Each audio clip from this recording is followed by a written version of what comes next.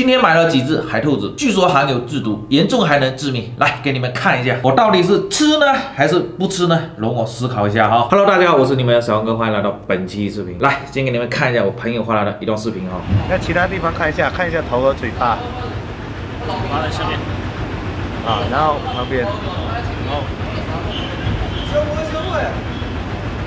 你们有见过这东西吗？我朋友说他小时候有看到，他们那边叫海母猪，大的会拿来炒着吃，然后小的都会拿来喂鸭子。不过呢，现在都不经常看到了，所以呢，我立马叫他帮我画了二十只过来。现在还寄养在老板的海鲜店里。走，现在赶紧过去把它给提回来。老板，哎，最近生意很好啊，搞了这么多皇帝蟹，现在皇帝蟹一斤多少钱啊？一斤在五百多一点。哦，斑马虾菇很漂亮。海兔子来，走，在那里。哎，你怎么把它装到袋子里面了？不好养。有没有死掉啊？呃，死了就是就这点了。这里面还有几只啊？应该有七八只啊。七八只，不止吧？不止七八只。死了这么多。哇，这些都活了吗？这些活力也不是很好了。也不是很好了。对。那赶紧拿去放生。哎，这个东西能吃吗？你认识吗？海边有看到过，但是能不能吃就不知道了。你你试一下嘛。不不不。可以吃再告诉我。呃，我听说这个东西如果还没死啊，或者活了活活。可以可以可以，帮我打点营养，打包起来吧。好，可以。嗯，没什么异味，也不会腥。这个东西我看它活力也还行，养了三四天，二十只只剩下十二只了。主要是因为这个东西的资料太难找了，导致了拿回来以后没有及时的盘它。你看它的长相实在太奇特了，真的很像蜗牛诶，也很像水蛭。这样子看还真的有点像海猪，有没有？这个东西活力还挺好了，真的很像蜗牛。你看这个头，这个应该是可以剥开来的。难道嘴巴怎么在这里面？还挺紧实的，不好剥啊。哎呀，刚才那只太活了，挖不开啊。这只是不是死掉了？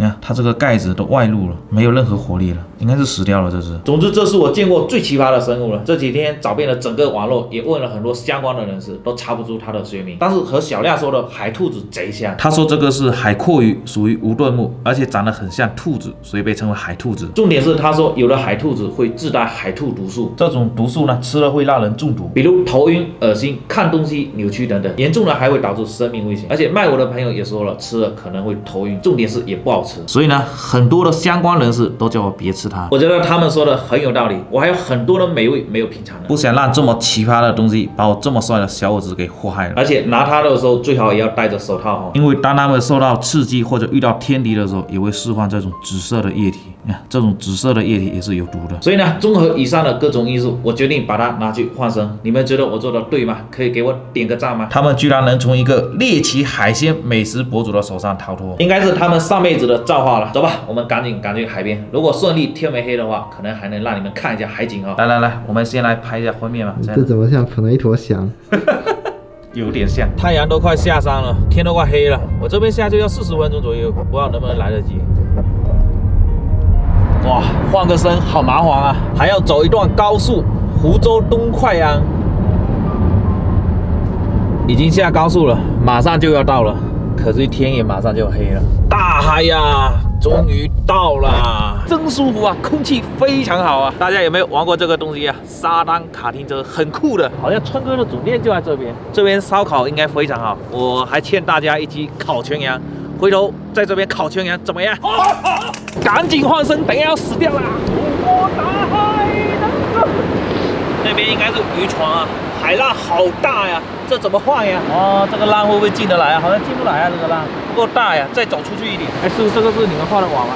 不是不是不是啊，这个拉上来有鱼吗？肯定有，真的有鱼吗？要全部拉上来看。哎呦啊！要全部拉。这个可能是那个渔船画的，渔船画的，不能不能不能拉。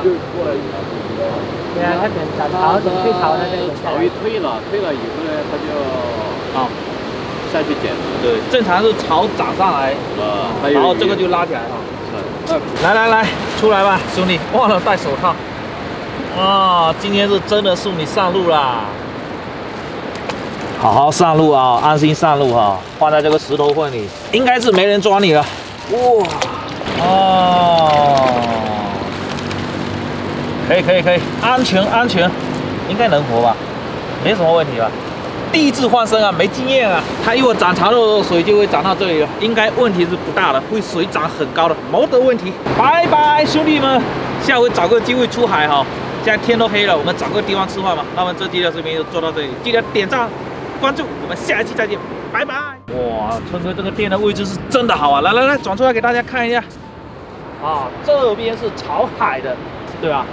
我们今天晚上要不就去春哥店里面偷偷的溜进去尝一下吧。哦，这个秋千荡的真舒服，双人的啊，对面缺个人，你们懂的。